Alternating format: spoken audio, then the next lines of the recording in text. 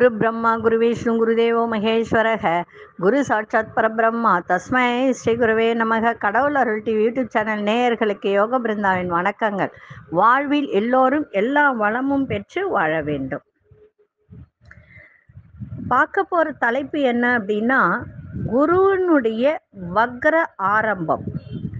இந்த வக்ர பயிற்சியால் எந்தெந்த ராசிக்கு நன்மைகள் நடக்கும்? அது எப்போ குரு வக்ர பயிற்சி ஆகிறார் அப்படின்னு பார்த்தோம்னா கடகராசி சிம்மராசி தனுசு ராசி நேயர்களுக்கு இந்த வக்ர பயிற்சி என்ன நன்மையை தரப்போகுது? இந்த வக்ரம் எப்போ ஆரம்பம் ஆகிறது அப்படின்னு பார்த்தீங்கன்னா செப்டம்பர் மாதம் நான்காம் தேதி திங்கட்கிழமை இரவு ஏழு மணி முப்பத்தி ஓரு நிமிடத்துக்கு குரு வக்ரம் ஆரம்பம். இது திரு திருக்கணித பஞ்சாங்கப்படி. அன்றைய தினமே பார்த்தீங்கன்னா சுக்கிரன் வக்ர முடிவுக்கு வருது. அசுரகுரு தேவகுரு அப்படின்னு சொல்லக்கூடிய தேவகுரு குரு பகவான் சுக்கர பகவான் அசுரகுரு. சரி நம்ம வந்து தேவகுருவை பத்தி தான் பார்க்க போறோம். ராசிகளின் தன்மை அப்படின்னா நன்மையும் தீமையும் ஏற்படுத்தக்கூடியது அப்படின்னு தான் சொல்லணும். தேவகுரு ஏறக்குரிய ஜோதிடத்தின்படி ஜாதகத்தில் குருவின் நிலை வலுவாக இருந்தால் ஒருவருடைய ஜனனகால ஜாதகத்தில் அந்த நபரின் குடும்பம் தொழில் வேலை செய்கிற இடத்துல செல்வம் செல்வாக்கெல்லாம் அதிகரிக்கும். இந்த குரு வக்ர பயிற்சியினுடைய தாக்கம் ஒவ்வொரு கிரகமும் தன் ராசியை அப்பப்ப மாற்றிக்கொண்டே இருக்கும். இந்த கிரகங்களின் இந்த ராசி மாற்றங்களின் பலன் அனைத்து ராசிகளிலும் காணப்படும் அப்படின்றத சொல்லலாம். இந்த கிரகங்களின் இந்த ராசி மாற்றம் சிலருக்கு சுகமாக அமையும் சில பேருக்கு அசுபமாக அமையும். சில நேரங்களில் இந்த கிரகங்களில் தங்கள் நட்பு ராசிகளில் நுழையும் போது சில நேரங்களில் எதிரி ராசிகளில் நுழையும் போது இந்த வரிசையில் தெய்வங்களின் குரு என்று அழைக்கப்படும் இந்த வேழ பகவான் மேஷ ராசியில் சஞ்சரித்து இப்போது அது வக்ர பயிற்சி அடையப் போகிறது.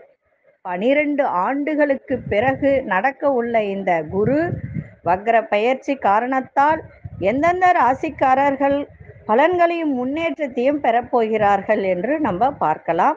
முதலில் கடகராசி நேயர்களுக்கு. இந்த குரு வக்ர பெயர்ச்சி இயக்கம் என்ன அப்படின்னு பார்த்தீங்கன்னா கடகராசி நேயர்களுக்கு சாதகமாக இருக்கும். கர்ம வீட்டில் குரு வக்ர பெயர்ச்சி அடைய போகிறது. பத்தாம் வீடு. இது தவிர கடகத்தின் ஆறு மற்றும் ஒன்பதாம் வீட்டிற்கு அதிபதியாக குரு பகவான் வருகிறார். இல்லைங்களா? எனவே குரு ஆறாம் வீட்டுக்கும் ஒன்பதாம் வீட்டுக்கும் அதிபதி ஆவார்.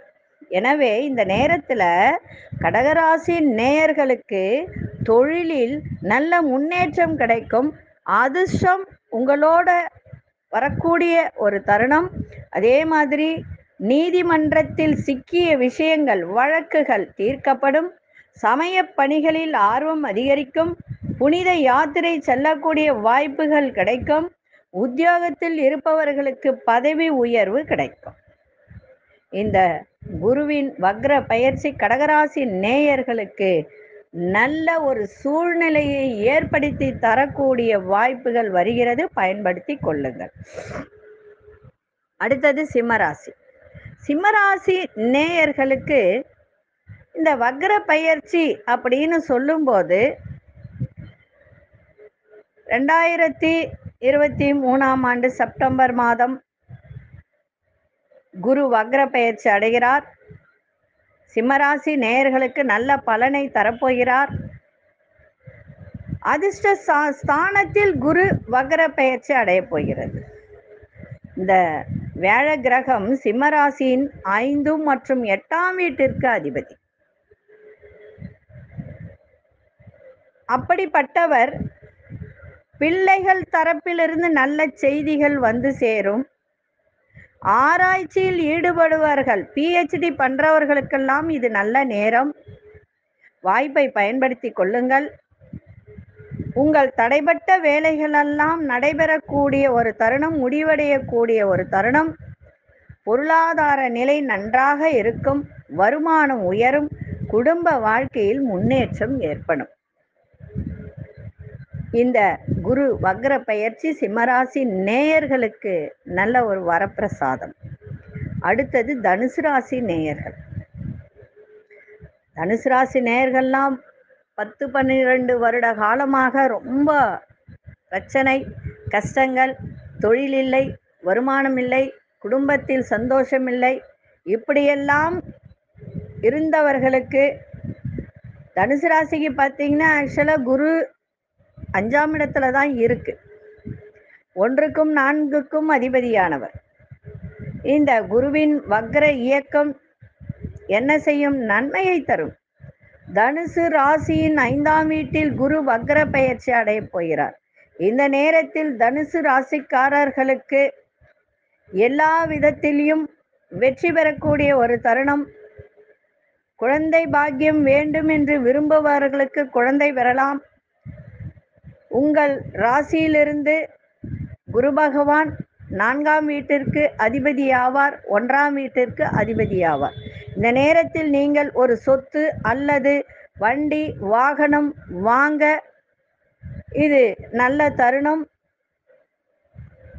மனதில் ஒரு உறுதி செய்யலாம். அதே மாதிரி மதம் மற்றும் ஆன்மீக துறையுடன் தொடர்புடையலாம். இந்த நேரம் தனுசு ராசி நேயர்களுக்கு மிகவும் சாதகமாக வரக்கூடிய நேரம். உங்கள் குரு உங்கள் ராசிக்கு அதிபதியாக இருப்பதால் குரு வளர வக்ர பயிற்சி இயக்கம் உங்களுக்கு மிகவும் சாதகமாக அமையும். குரு பகவானை வணங்குங்கள். ஏன்னா ஒன்றுக்கும் நான்குக்கும் அதிபதியானவர். நான்காம் இடம் கேந்திரம் அப்படின்னு சொல்லக்கூடியது. அப்ப கேந்திராதிபத்திய தோஷத்தை இது பெறுகிறது. அதனால குரு பகவானை நன்றாக வணங்குங்கள். இந்த குரு வக்ர பயிற்சி உங்களுக்கு சாதகமாக அமையக்கூடிய ஒரு வாய்ப்பை இது ஏற்படுத்தும். நன்றி வணக்கம் யோக பிருந்தாவின் வாழ்த்துக்கள்.